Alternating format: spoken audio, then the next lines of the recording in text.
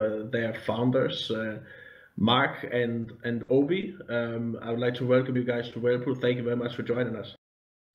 Thanks very much, guys. Thanks, guys. Okay, so uh, give us like a, your standard introduction to what CoinFloor is and what they're about, and then we'll dig into some specifics. Sure. So CoinFloor is the leading UK Bitcoin exchange. We're the primary place for people to trade GBP BTC. Um, uh, we lead the volume, and uh, in terms of liquidity and spreads, we're the, the main place to go. Um, and just as a background, we started three years ago. User joined your channel. We, uh, at the time, we were obviously the last place, very, very with low single digit market share. Now we regularly have market share in the UK GBP currency pair of 40% plus. Um, and by pretty much all metrics, we're the top exchange in the UK. Okay, and um, so wh where are you guys based in terms of the company and uh, what's your, the banking situation? Since you guys are spot exchange, the fiat uh, flow is really important. Sure. So uh, we're our offices are in London. Um, we're here uh, near Chancery Lane Station. Um, our banking is in Europe, and uh, in terms of jurisdiction, we're also we're based here in the UK, UK company. And have you pursued any of these kinds of regulations that, for example, Bitstamp or the FCA? I think there's a, a license. Have you done any kind of that stuff? Um, short answer, yes. Longer answer, um, we spend a large percentage of our time in conversations with people like the FCA, etc., um, on looking at regulation in the UK. Okay, and how are you guys uh, funded? Um, we've received funding from um, mainly Passion Capital, who um, are a very well-regarded UK-based VC. Um, also, our chairman, who is his name's Adam Knight. He was the ex managing director User for global channel. commodities at Goldman Sachs and Credit Suisse, and a number of other um, investors. Okay, so you guys aren't going out of business uh, by the end of the year because you're running out of money or anything like that. No, no, we're uh, we're operating at a sustainable pace right now. That's good because a lot of uh, uh, the customers need to trust uh, when they're depositing funds that uh, everything's okay. Um, so how, how, speaking of security then so what what how exactly are you securing when people are depositing their bitcoin with you? Okay um, it's a very good question. I think the the main we we obviously perform all of the things that you would expect from a bitcoin exchange but our key um, the key two initiatives which we still think we are um, unique, at least in the West, and probably for most um, main exchanges. One is that we have 100% cold storage of policy for our Bitcoin. So that means we store all Bitcoin offline um, and we secure the, uh, all the keys that secure our Bitcoin in um, vaults stored at very high levels of security in multiple vaults. Um, that because we have a 100% cold storage policy, we've had to build a number of processes in place in the back end um, operationally to be able to still allow people to withdraw um, Bitcoin relatively quickly. But to be fair, we're not as easy to withdraw from or as, uh, as uh, other exchanges that don't um, follow a 100% cold storage policy. But we, we make an assumption that um, we want to be able to protect our customers' Bitcoin even in the worst case. Um, the other thing, in terms of trust and the security of the individuals behind the company, we are public individuals. We allow people we're by appointment to come and visit us and talk to us if they have if they wish to. Um, and as I said, our investors are people like Adam Knight, who has a background in the, the UK financial space, and Passion Capital, who's um, one of their major investors is the UK government that help, helps helps the credentials. And finally, we have a policy we call um, um, provable solvency. So we do a hundred, we do a, we are, from the beginning, we did regular monthly audits um, of our Bitcoin holdings and released them publicly. We've done that from the beginning. and we've done that uninterrupted since we've started. And I don't think there is uh, um, any other exchange that has that track record of doing from the beginning and reporting it consistently. So who has those keys? Which of you guys are like? Is it a multi-sig uh, cold store situation where both of you have to have a key? Do you have other guys that are trusted with keys? Who exactly okay. All right. Um, we great question. So it first of all, we we it is multi-sig, um, and um, we have a um, a proprietary um, solution, but it's still using multi-sig for for that. But in terms of who has the keys, we can't we can't tell you who has the keys for has security any, reasons. Has any exchange answered that question? well, uh, we it's uh, well the, the, okay to ask it differently then. I mean because uh, in order for uh, people to trust that the funds are safe, they want to know that, like, I mean, is it is it only people that are top level? Are you contracting out security? I mean, we need to have some kind of detail about who's the ones trusted with the keys. Is it in-house, uh, contracted, etc.? Okay, no, okay, I um understand your question. We're not using services, um, absolutely not using services like BitGo, if that's what you mean. Yes. We're not contracting out this to any third parties. It is um um people who have a vested interest in the company. Yeah. Um, um, and have a stake in the company are have are the people who are securing the keys, and it's only and, people and, who are or who are, or are employed who have a vested interest in the company who have okay. okay. Another reason why is because you have to they have to be sufficiently incentivized, right? So you look at a case like Shapeshift. Um, you know, as, uh, they basically got on some sysadmin that they didn't do a proper background check on. He had access to stuff, planted, uh, you know, uh, exploits everywhere, and screwed them over that way. And so the the the questions more also getting at, you know, how uh, is the technical expertise from the top down in your company to be able to be actually directly in charge of that kind of stuff. So, I mean, my background was over 15 years as a CTO before coming in here, so I have a, I believe, I have a technical background, um, and we, the processes for management of of keys are heavily documented and are have been practiced now over three years. So we um, we and we continually monitor those processes. So I, I, think we are comfortable with the process of managing the keys. We've also made those processes very very simple. So they're they're pretty much foolproof. In terms of um, who has access to the keys, um, as I said, it's not people like um, sysadmins, etc. User left your channel. Um, and yeah, I'm.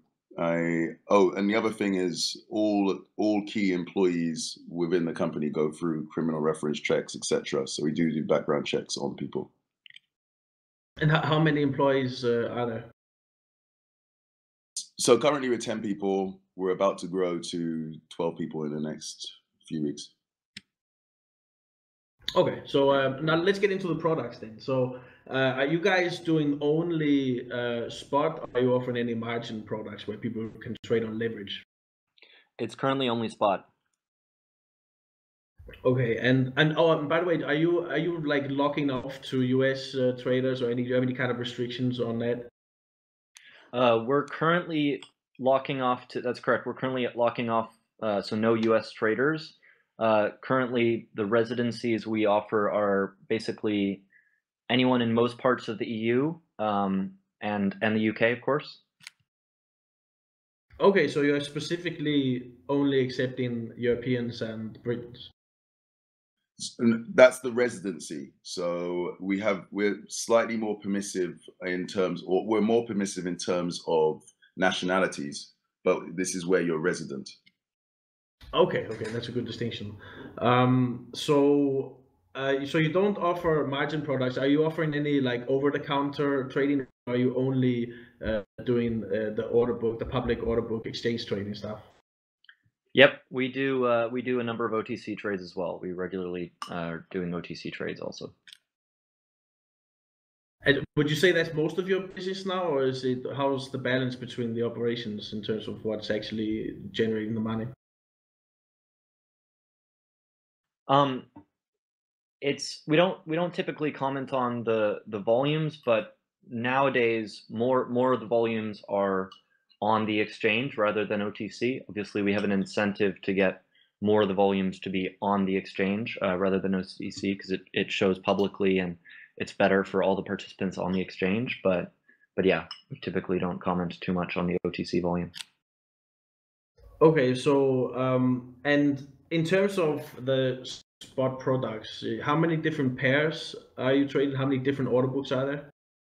Sure. So there's a pound Bitcoin, euro Bitcoin, dollar Bitcoin, and uh, Polish zloty Bitcoin.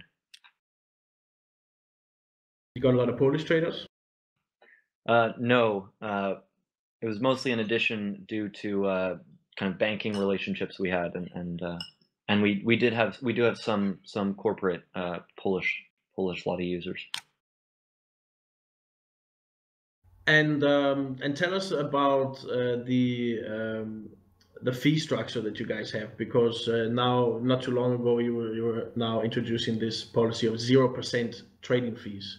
So how exactly does that work, and how are you making the money in that situation? Sure. So we're we're making the money on deposits and withdrawals of uh, fiat currency. So we have a number of users who are regularly depositing or, or withdrawing, um, ranging from investors, corporates, um, you know, various types of users. So we we make a healthy amount of revenue from those fees. And what we're looking to actively grow is the the user base of active traders, um, retail traders, professional traders, and just people who are doing two-way trading. And so that and, and that's why we we launched zero fee trading because we felt that it would it would incentivize liquidity, it would uh, tighten spreads, and it would incentivize more more trading. Now, at the same time we launched that, we um, well about a week later, to, just to give a transitionary period, we introduced um, percentage fees on deposits and withdrawals and we set them of fiat. At, of, of fiat, only of fiat, deposits and withdrawals of fiat. And we set those at a level where they were still sustainable for us, given our existing um, um, setup in terms of the type of customers who did, who use our platform. So, say I want to go sign up at CoinFloor and I want to drop uh, a uh, hundred thousand US dollars on there. What's it going to cost me in terms of the fee for depositing it? It'll uh, so you can see the range on our fees table, but it ranges from uh, 0.34% to 0.38%. So you'll pay somewhere in the range of 36 basis points or so. I think it's about about 350, 360 pounds. And you know, when you compare when you compare that to if I were to deposit it on uh, Bitfinex, you know, that would cost me just like you know 15, 20 bucks. So that's a for, for traders of a certain size, it starts to get it starts to hurt a bit uh, on a percentage uh, basis. Sure. I mean, it'll be a more expensive deposit, but that being said, the trades would be free, so the the actual trading in and out would be much cheaper than uh, if, if you're making a couple trades, um, you're already ahead of where you'd be on on Bitfinex.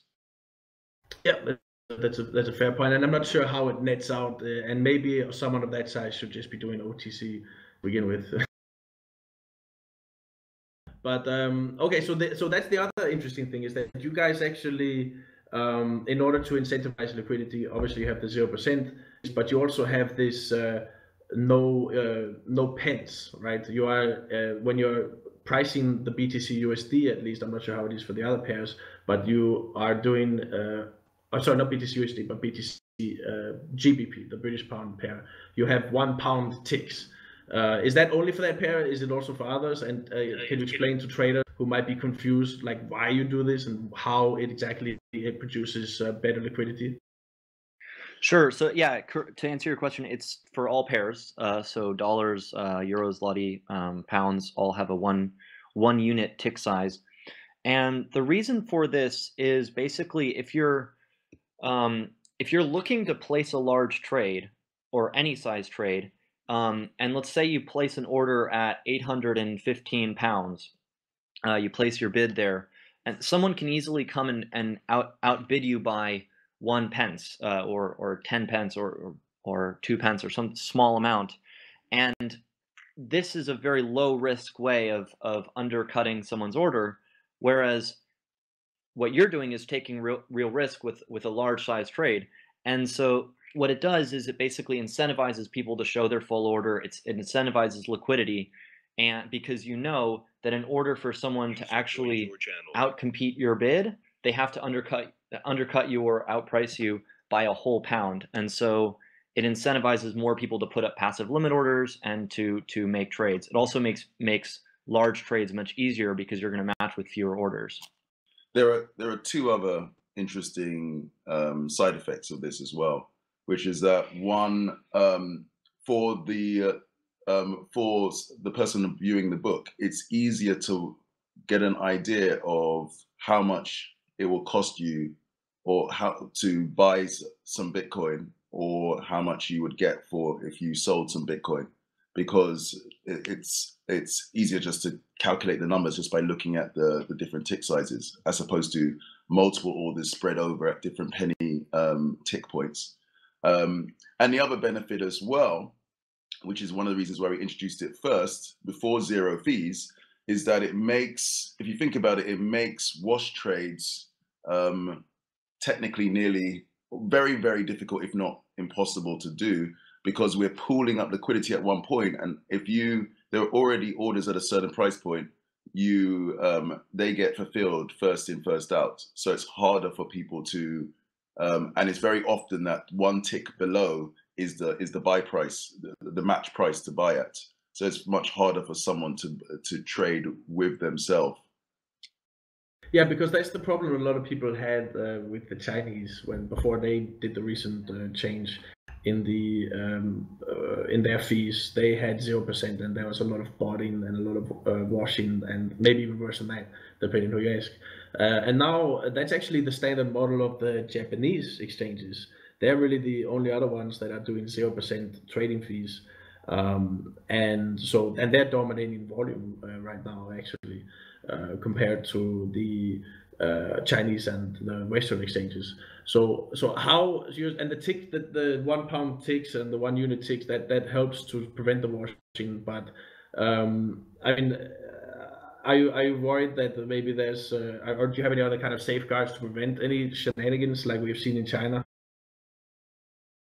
Ultimately, the the I mean the nice thing about a one pound tick size, as Obi said, is it's it's it's a very effective policing measure. In order to do a wash trade when with a one pound tick size, if you had two accounts and trying to trade between the two, you would be you would be taking significant risk that someone else would match against your orders.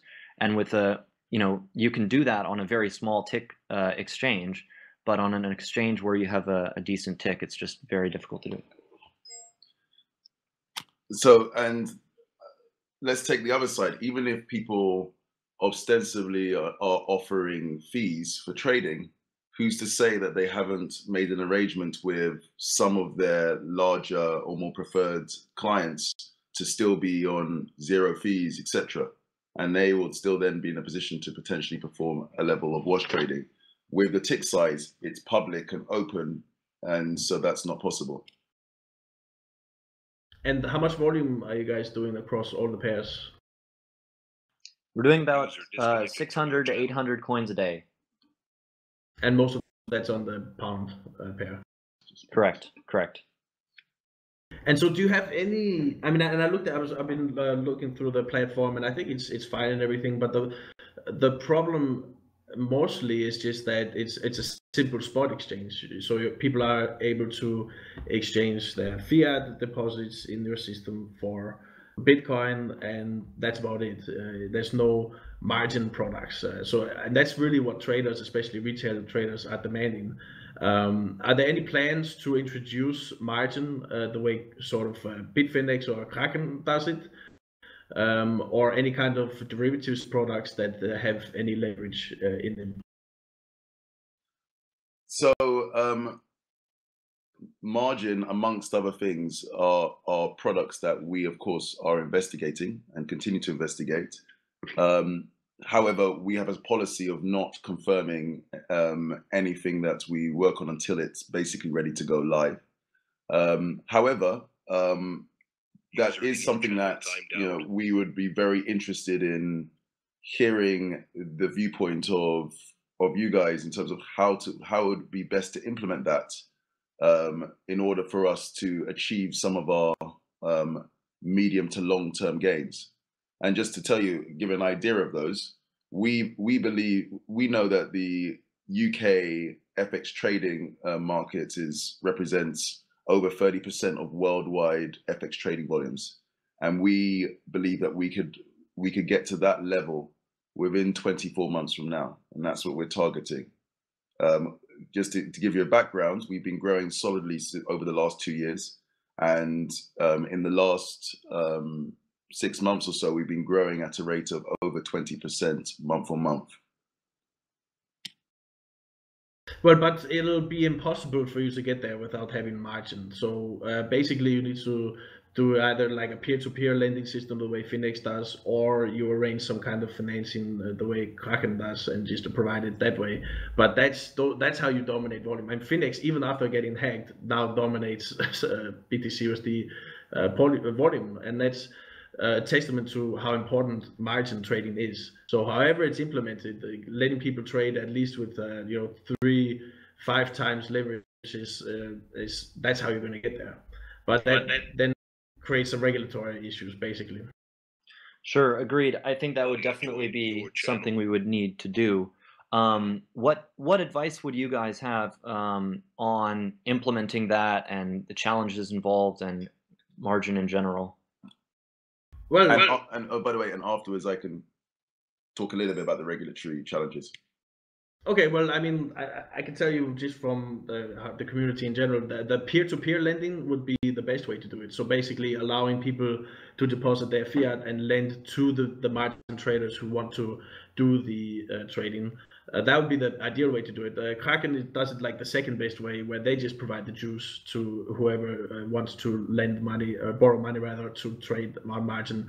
But yeah, just give people the opportunity to trade on leverage. That's what traders want and need. Not just the retail traders and small traders, but large traders just prefer uh, being able to trade on margin and uh, being able to limit their counterparty risk. So the two implementations I would recommend that most people here are using in terms of uh, since you guys don't want to do the derivatives uh, products necessarily, maybe you do, but uh, if you're going to stick to spot, then you should look at Bitfinex as one model and Kraken as a separate model. Out of the two, um, you, you prefer in terms of the way um, money is provided to the margin traders, Bitfinex's model, but in general, out of the two, which do you prefer, or what do you like, or putting it in a more diplomatic way, what do you like from each two two's models? Well, I, I, in terms of the model that Bitfinex uses, it's nice for for being on the other side where you want to uh, have maybe you have a bunch of Bitcoin that you want to lend out and uh, earn interest on, um, or you have some fiat and you want to earn like a nice little extra return on. I mean, sometimes uh, for example, on Bitfinex, you can earn like you know 10 to 20 percent APY lending out fiat, and that's uh, you know you allow people to a market to form in the lending of funds for the purpose of margin trading. Um, so I mean, I, that that has its pros and cons. I mean, it's it's nice and stable on Kraken to consistently have a financing source that isn't uh, so variable in the interest because when you have a market determined lending rate this is going to swing around and be variable. With Kraken, they tell you it's a fixed rate and that's what you're going to get. So there's some certain pros and cons to it. Uh, but uh, I think most people prefer the peer-to-peer lending model for the margin trading. And uh, yeah, just offer like you know, uh, either 30% initial margin or you know 20% initial margins doable at Bitcoin's volatility, and that's what uh, that's what people that's what traders need really, because Bits, look at Bitstamp as an example. They've been around forever, but their volume is basically the, it has a ceiling on it because they're not offering uh, margin, and so that's it. It harms liquidity, and the volume just doesn't necessarily get to the point that it uh, needs to get. So that's those. That's really the way to do it.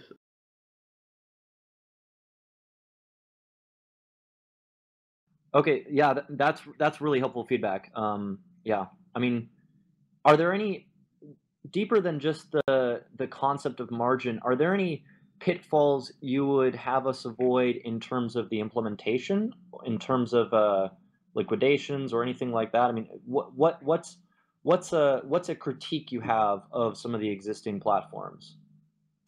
Um, well, just all you have to do is be really transparent and clear about how the risk management works, like how the maintenance margin level is set and how the liquidation and margin call procedures, how exactly they happen and at what threshold. Um, and I guess just the, I, I mean, if you're going to implement a proper margin system, then the exchange has to backstop it, which means no social losses, none of that stuff. Uh, um, if you if the system takes a loss, then this exchange should eat it so that the traders are not affected. So in a in the Bitfinex system with um, peer-to-peer lending, if if there is a loss, the lenders don't lose out. Correct. Um, Phil um, from Finex, who is uh, often uh, here, has spoken exactly on that topic, where he says that Finex has, uh, in times of extreme volatility, has had to um, cover that. And I mean, basically, you charge like a little bit of a higher fee on that activity in order to create like a little fund on the side that helps to address situations like that, which are like you know uh, Six Sigma type events, which will hit every now and then, but you know you'll earn enough in the meanwhile to cover it. Um, so yeah, Finex actually does cover uh, those. Uh, you know, as uh, lenders never take a hit except for the 35% haircut in the hack. That's a hit, but uh, not in terms of the liquidations not getting filled. Yeah, no, that, that definitely makes sense. I, I, I just wasn't 100% sure that others did that. So it's good to know. Yeah, and I mean, and most of the margin volume is actually in the derivatives uh, space, so mostly futures contracts, because and it's pure Bitcoin. It's less about the documentation, verification stuff, and so people are able to throw a Bitcoin on there and gear it up to like 20, 50 times leverage. Um, and so that's a different story where you have now a counterparty zero sum game uh, uh, product where if the system takes a loss, then you can uh, then distribute that loss across the profitable traders of the given period. And that's how OKCoin does their risk management. And you could also do uh, an auto deleveraging kind of uh, termination procedure, which is what crypto facilities, also a UK uh, based exchange actually, and um, and BitMEX has a similar system like that, uh, which is a hybrid actually with the social loss system. So that's but those are different risk management systems that are more non-spot margin. They're only for futures, which would still which would actually be another option if you were just to uh, you know spin off a separate uh, unit that was only doing futures product or something like that. Yeah, really helpful feedback. Um, we've we've definitely thought about uh, derivatives as well. Um, where where are you guys seeing most of the the volume in terms of the distribution between crypto facilities, BitMEX, OKCoin, on the on the future side? And well, yeah, yeah, OKCoin dominates. Uh, they're number one by far.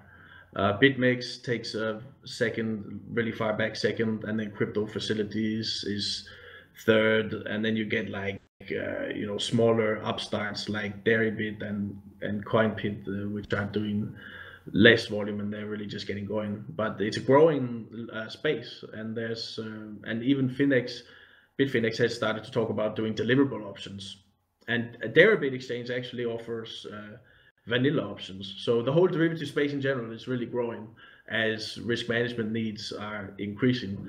Um, so and they're they're doing ridiculous kinds of volume there too on OKCoin futures.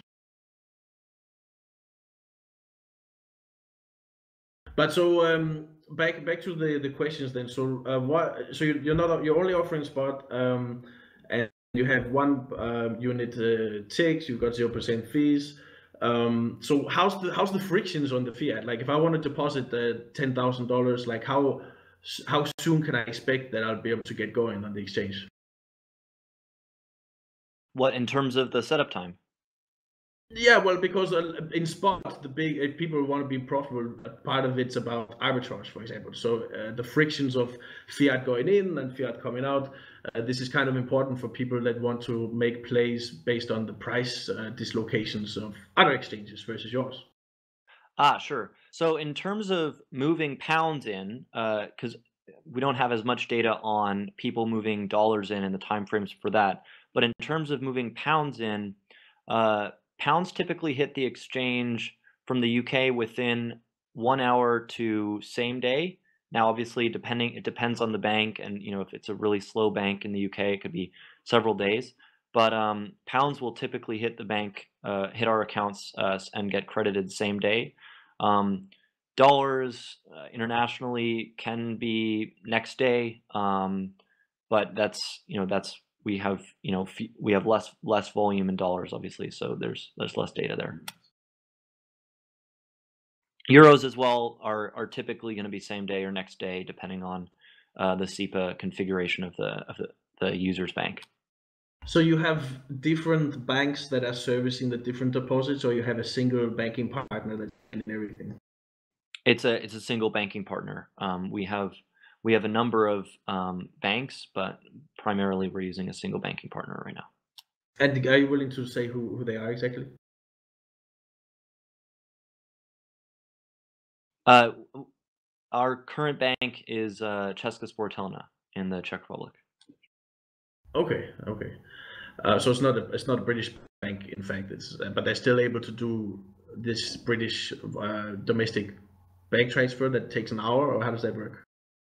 Yes. So and and they are um, all all of the banks we have are capable of handling um, more than one currency, um, and we we switch between banks on a periodic basis just to make sure we maintain a certain level of usage with each bank because if you don't if you don't use the account you start to lose the account. But uh, but yeah so we have multiple banks and at the moment um, it's the czech bank that we use as our primary deposit point. But would the would the would your would your customer not um, then experience different kinds of service depending on which bank you're using at a given time? So what we make sure when when looking at banking partners is that they have very good clearing and correspondent banking relationships with UK banks, and that's how we're able to typically maintain very very fast deposit times. But obviously, it's not guaranteed. It's not like we can guarantee a certain speed. It, it depends on the banking network, and that that's uh, that's partially out of our control. Also, we um, are always looking at other banking relationships. Obviously, um, a big part of what we do is spend time looking at um, banking relationships in Europe and the UK. Um, and although we're happy with our existing partners, we're looking for we keep looking for others that have faster speeds for um, for settlement of, of transfers in and out. Yeah, I mean, reliable banking is really central to a successful spot only exchange. Um, it's different when it's Bitcoin in and out kind of thing because the Bitcoin network is what it is. But uh, when once you're introducing fiat, then it becomes a whole game with okay, are the bankers gonna are they gonna play ball? Are they gonna be causing problems if the volume gets a bit high and this and that? So it's that's why traders really need to know like okay, this is a rock solid. I mean, if you, for example and to bring it back, not, not that I'm trying to shield for Bitfinex, but uh, they have a pretty reliable Taiwanese uh, connection that seems to be, you know, unstoppable no matter what's happening to them in terms of uh, getting hacked and being insolvent and all that stuff. So that's the kind of reliability that traders really need when it comes to wiring money in and out of a place. Hundred percent. So, um, so you guys, uh, you guys are only doing Bitcoin pairs.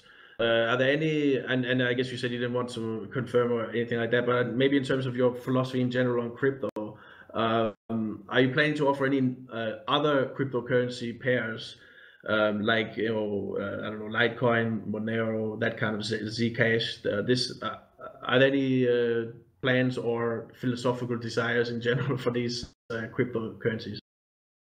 So um, yeah, I'm, we're happy to answer that, and also maybe at the end give you a bit of our own personal philosophy on these things.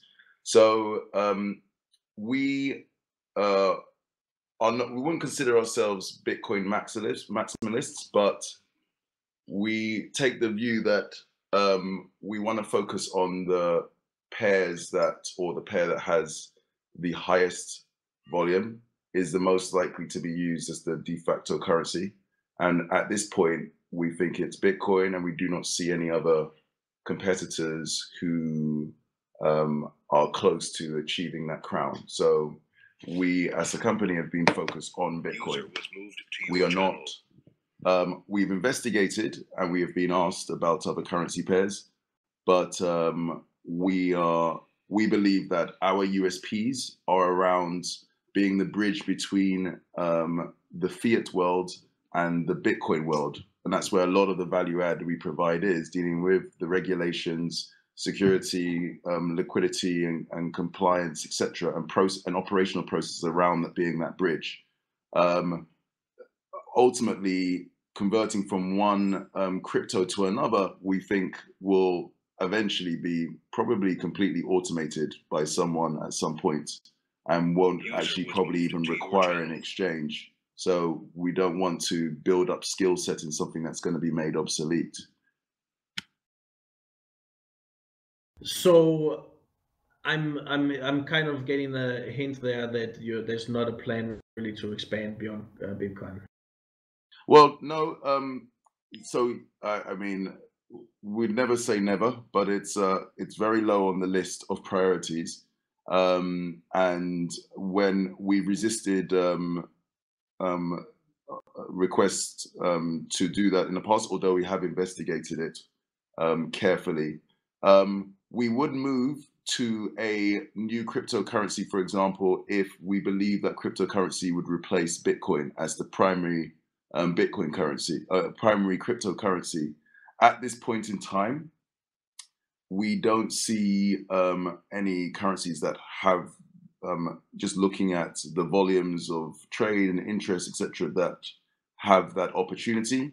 And we think that's mainly for technical reasons. If you ask me for a personal opinion, um, we, I mean, I like Monero, um, but we need to see something that's a not just a 10% better Bitcoin than Bitcoin. It needs to be 10 times, 100 times better the only things we see on the horizon, maybe, especially with the latest announcements, are some sort of MimbleWimble mixed with ValueShuffle slash TumbleBit um, coin, and that's probably three years away from being released and three or four or five years away from getting to a critical mass where it would overtake Bitcoin.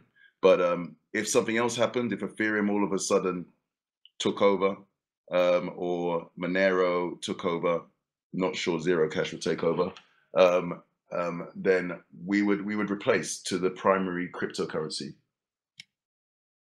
Okay, and you brought up uh, uh, what CoinFloor's uh, USP is, its unique uh, uh, selling uh, proposition. So, what in, in, an environment where you've got, say, Bitstamp, itBit, Coinbase, Kraken, I mean, I could go on and on, Gemini, these are all uh, exchanges that are heading for the regulated spot only non and some of them even have a couple of them even have margin you know and so how what what exactly are you offering that's uh, truly unique and distinct in this sea of you know uh, spot exchanges that require verification and documentation to even trade on? So really what it boils down to is any exchange is really competing um, highly on liquidity. And for GBP BTC, we have simply the best liquidity um, out of any exchange in the world. So that's that's really our our USP on the liquidity side. It's it's the easiest uh, place to convert between pounds and and Bitcoin. And at the end of the day, it's a network effect. Liquidity begets liquidity. So over time, we expect this actually this advantage to actually increase.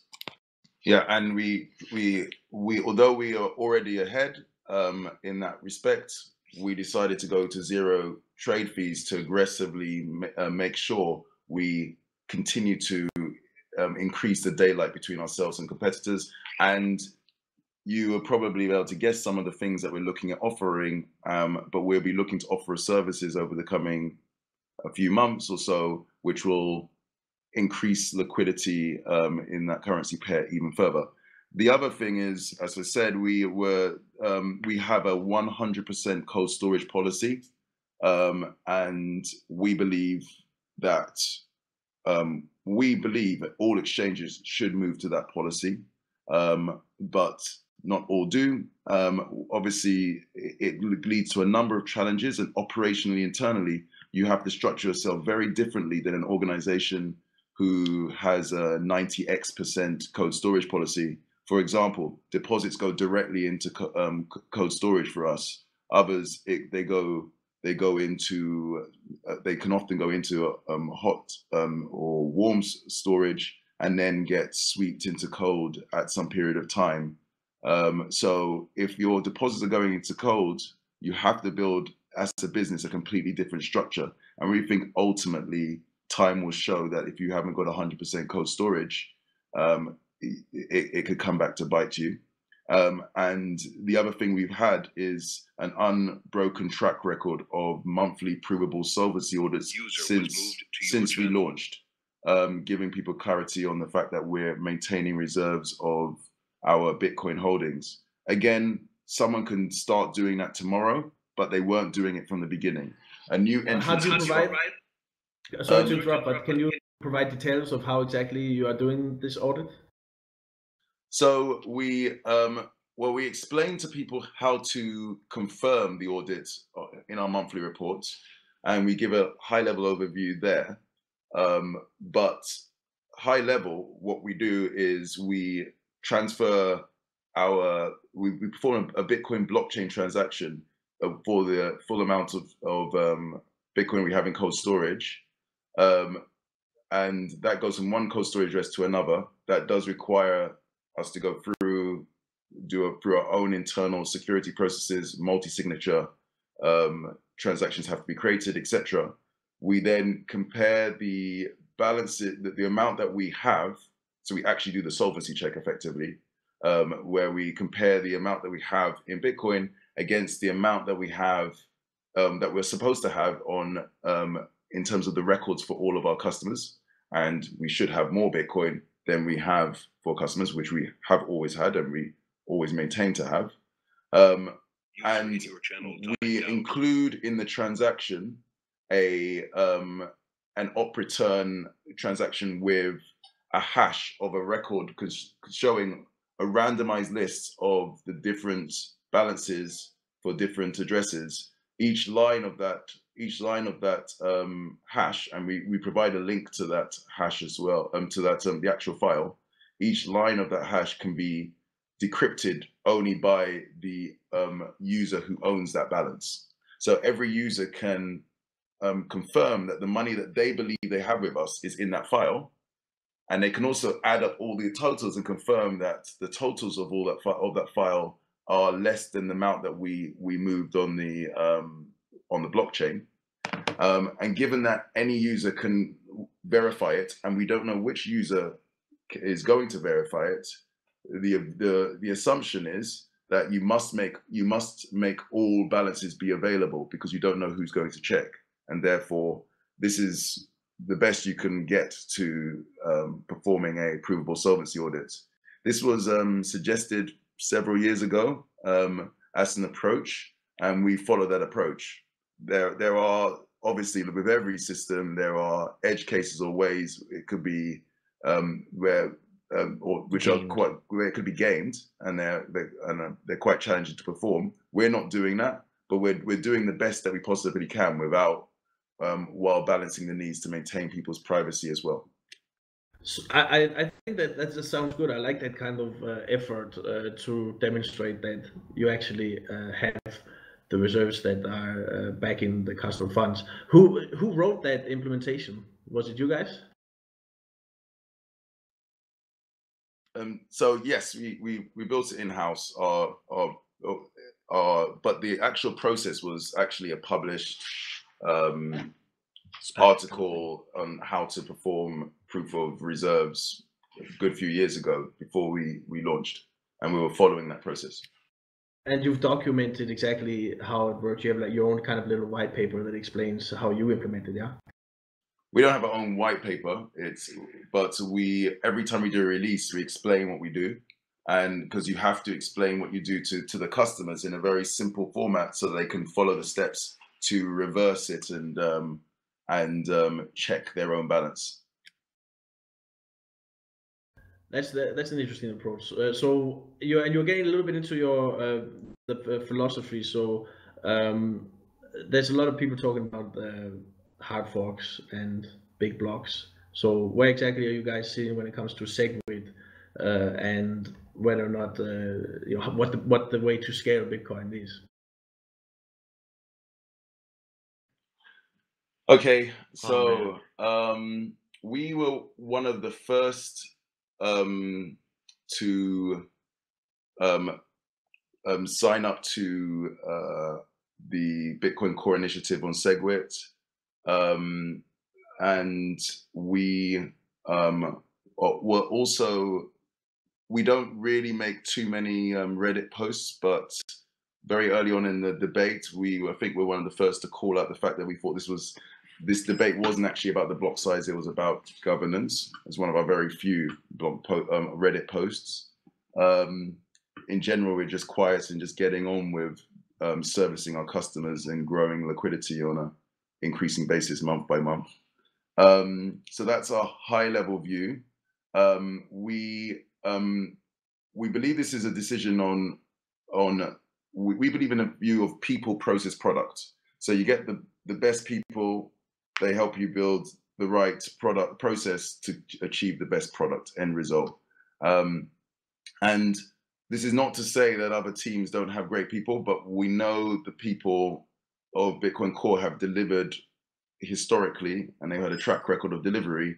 So we are comfortable with the approach that they recommend at this stage, at this point in time. And, and we have not seen anything to, from our point of view to make us uncomfortable with their approach. So we're, we are definitely of the view that we should go with SegWit at this stage and give it a go, roll it out. If for some reason um, Bitcoin Unlimited succeeds over SegWit um, this um, and takes over the network, we would have to support it because at the end of the day, we service our customers. But uh, our hope is for um, SegWit to be launched, and SegWit does increase um, the effective amount of transactions that can be kept um, that can be stored in a block. So it achieves the aim of a hard fork in the short term. And then services like Lightning Network, etc., will increase that further off chain. Um, and also, there are discussions and um, um, by by various um, developers now for mechanisms for doing a hard fork or discussing a hard fork at the appropriate time when it's ready. We also don't think that it's needed right now, um, even a block size increase. I'm not sure if that's clear enough on our view. Yeah, no, I think that's. Uh, I mean, that's kind of in line with a lot of. Uh, I think a lot of people here think. Um, so before I before I open up the, the to everyone else that might have some questions for anything I might have missed or wasn't clear. Um, so have you have you guys ever uh, at all experienced a, a hack like a security breach where you got coins taken or anything like that? No. That's good. That's good. All right, one second. I need to change the permissions. So one sec.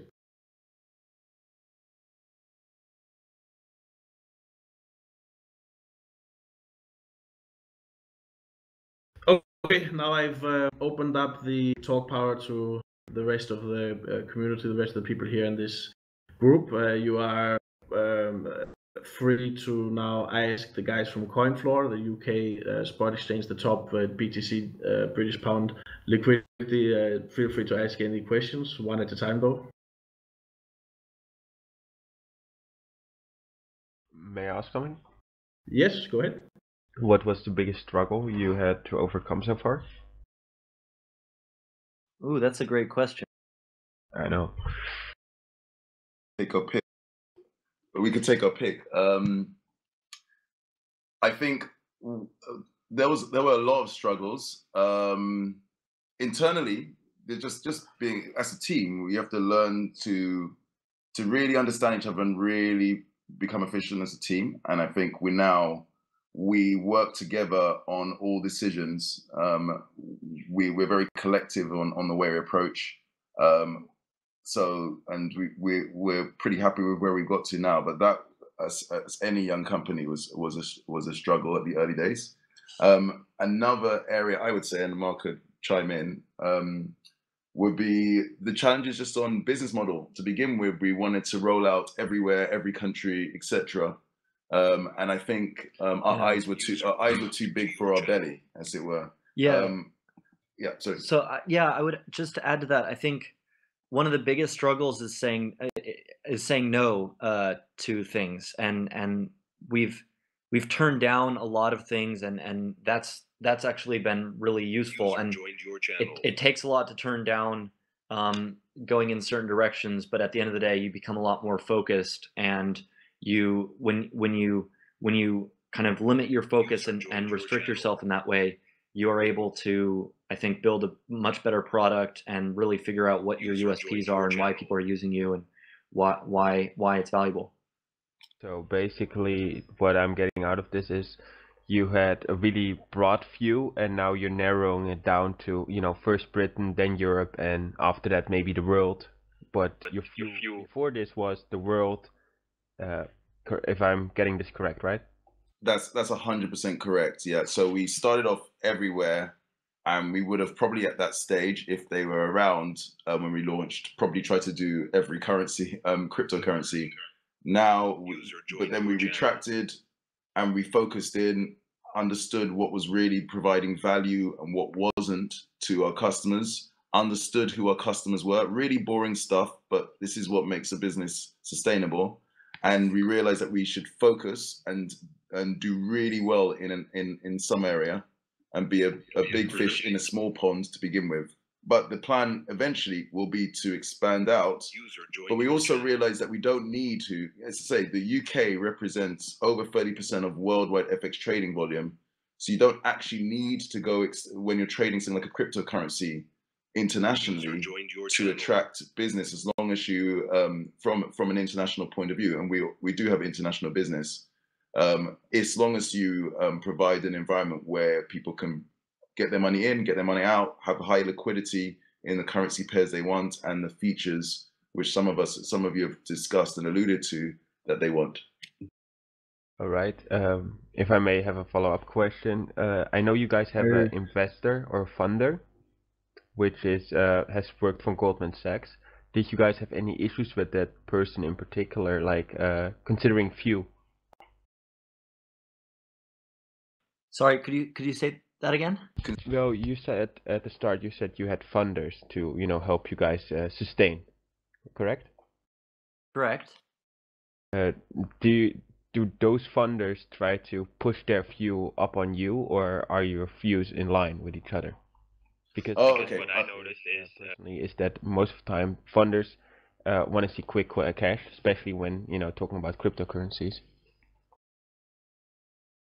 So yeah, very good question. So um, the answer is again, as the company is young, you also you're building a relationship not just internally but also with your major funders. And to begin with, um, we were less sure of our model, to be honest, and we also had less track record.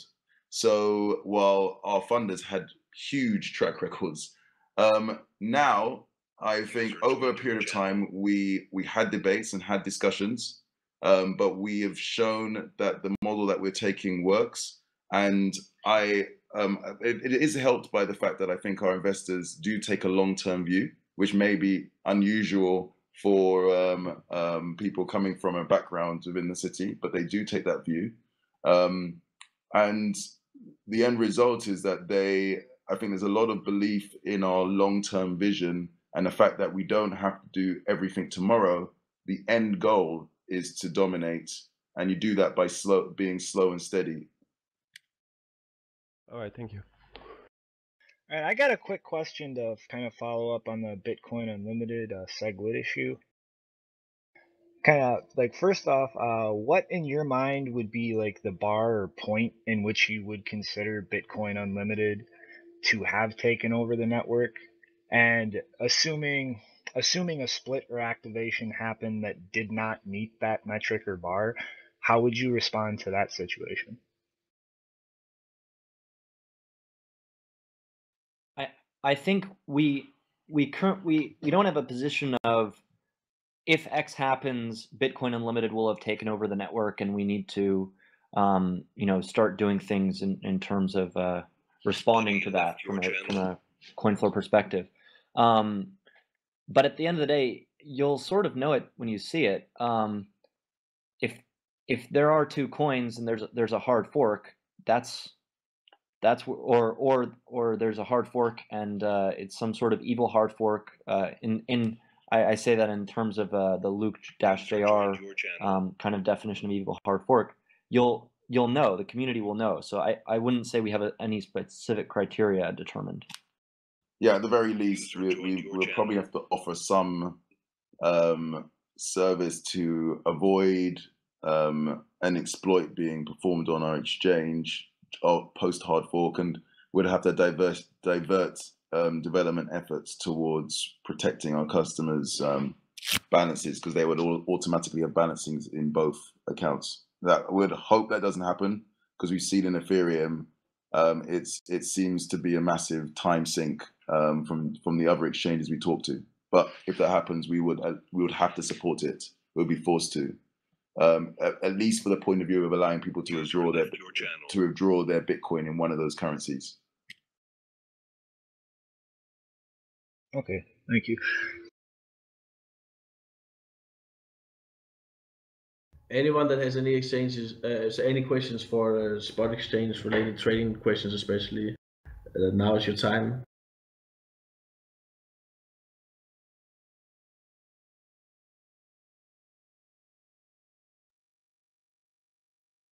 Okay, so um, well, well, there's I did see some questions in the chat. Um, well, one of them is stupid. It's about uh, Litecoin, and you already kind of talked about that. So, um, okay, well, uh, were, were, there any other kind of final thoughts or anything that you uh, wanted to uh, let prospective traders know uh, before uh, before we close it out? Sorry, can you? We, we were trying to read the questions in the um, channel. Can you repeat your question to us? Yes, none, none of them were intelligent. There's no reason to uh, to, to, use them. Um, so I was just I was just saying that there was it because I, I don't hear any. There's no um, questions being brought up from anyone else. So I'm going to uh, just give you guys another uh, final chance uh, for any anything you wanted prospective traders to know um, who might be interested in uh, in using your exchange come and trade on CoinFloor. We've got a we've got great spreads. I mean, at the end of the day, we've got great spreads in GBP BTC. We've got high liquidity, and uh, anyone is welcome to come and trade volume on CoinFloor. Um, and my more subdued uh, comment would be, um, you know, we are we're a solid exchange. We're growing consistently.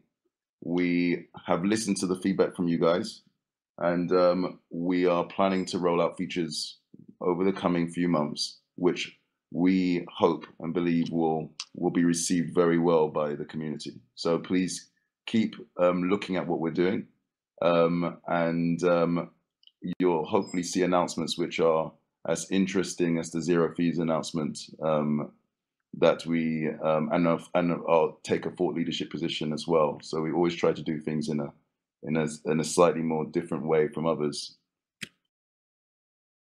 well, it sounds interesting. We'll keep an eye on things. And um, so Obi and Mark, uh, co-founders at uh, CoinFloor, British uh, Spot Exchange. Thanks a lot for, uh, for, spending a bit of time this Saturday discussing uh, this uh, your exchange with um, with the traders here. Thanks, guys. Thank you very much, guys. Really great to talk to you. Thank you.